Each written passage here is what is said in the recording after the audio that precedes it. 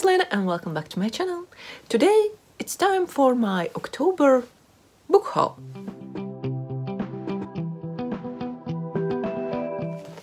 I would like to say that I don't have that much books to show you comparing to the last month, but I have this pile, so let's just get through it. The first two are by the same author and it's Laura Vinogradova. This one is her newest one and it's called Upe, the river.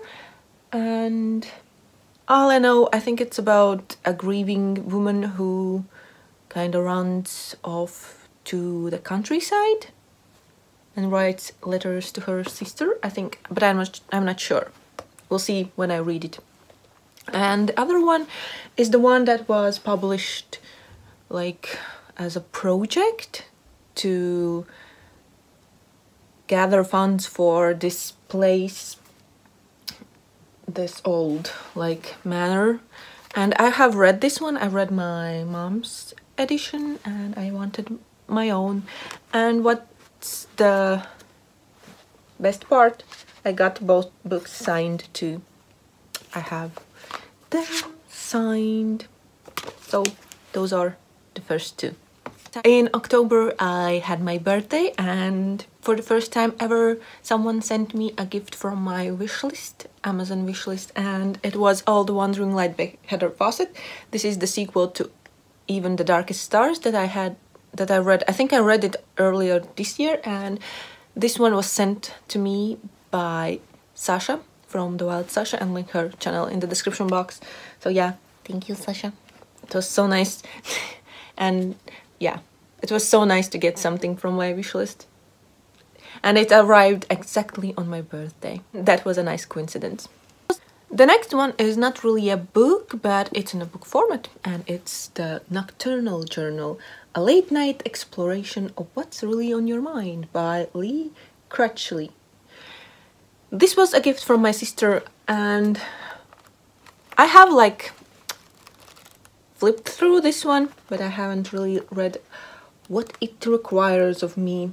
But I need to sit down and see what I can do and randomly like fill in the things it asks me to.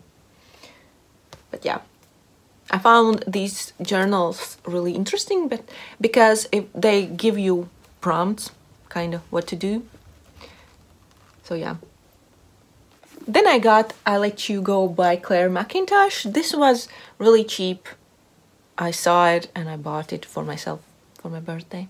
So yeah, all in all, I think it's a thriller, kind of domestic thriller maybe. I don't really know, but yeah, it was cheap. I wanted it and I got it. The next one I got was The Great Gatsby by Francis Scott Fitzgerald. I've been wanting to read this one for quite some time and I would like to read it by the end of the year and when I saw that I can get this copy I just did it. And usually I don't like movie covers but I enjoy this one. Mostly because it has Leonardo DiCaprio. He's kind of my childhood crush. So yeah I like this cover. And the last books I'm gonna share are the book box books and the first one is Fable by Adrian Young. This was in September's FairyLoot box. It has an exclusive cover and shimmery sprayed edges. So yeah, I think it has something to do with mermaids, water. It looks like it, like she's underwater. But yeah, we'll see when I read it what it's actually about. And then in September's Illumicrate box were A Deadly Education by Naomi Novik. This one is like a magic school book. It's the first one in the series. And I think the school is Scholomance. And it's like there are no teachers or something like that and it's a really dangerous place. But that's kind of all I know. And the last book I'm gonna share is The Lives of Saints by Leigh Bardugo, illustrated by, let's see, Danielle J. Zollinger, and this one is in the Grishaverse. It's like all the saints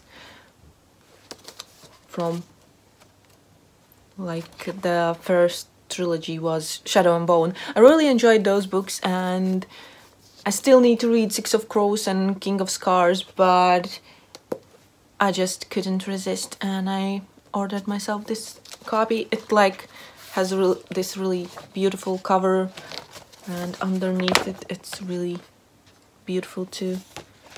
I love it and it, it is beautiful inside. There's illustrations and all like these borders around the text too.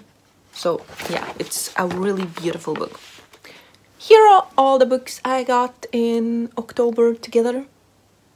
They are beautiful. But yeah, this is gonna be it for the video. Thank you for watching. I hope you enjoyed and I see you in the next one. Bye!